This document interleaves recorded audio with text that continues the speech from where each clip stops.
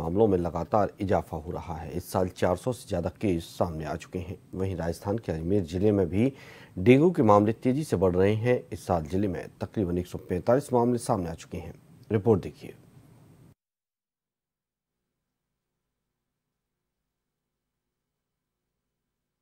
मध्य प्रदेश के इंदौर में डेंगू के मामलों में लगातार इजाफा हो रहा है।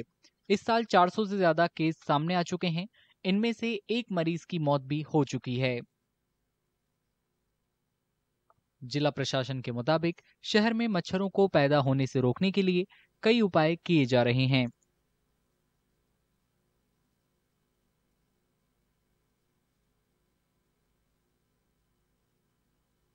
देखिए, ऐसा है कि फॉगिंग का प्रतिदिन का मॉड्यूल है, नगर निगम की टीम और हमारी जो एंटीलावा की टीम है वो संयुक्त रूप से जो है फॉगिंग और दवाई छिड़काव का कार्य कर रही है। प्रतिदिन हमें उनकी रिपोर्ट भी मिल रही है।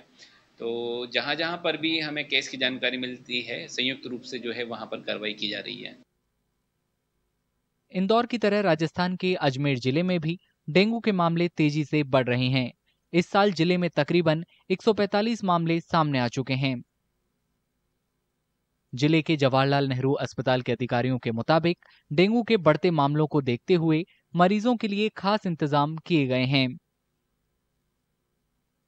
अभी हमारे मेडिसिन के जो बुखार के मरीज़ एडल्ट पेशेंट आते हैं, उसके लिए हमें प्रीफे वार्ड हमने बना रखा है। हमारे 200 बेड का प्रीफे वार्ड है, जो बेसिकली स्पेशली इस तरह के मौसमी जनित बीमारियों के लिए हमने कर रखा है इसके अंदर से।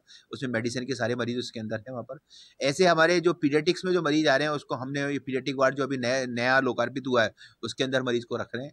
हमारे पास में दवाइयों की कोई कमी नहीं है और हमारे ब्लड बैंक में हमारे प्लेटलेट वगैरह का बहुत अच्छा संग्रह है इसके अंदर से इस संदर्भ में कोई कमी नहीं है इसके अंदर।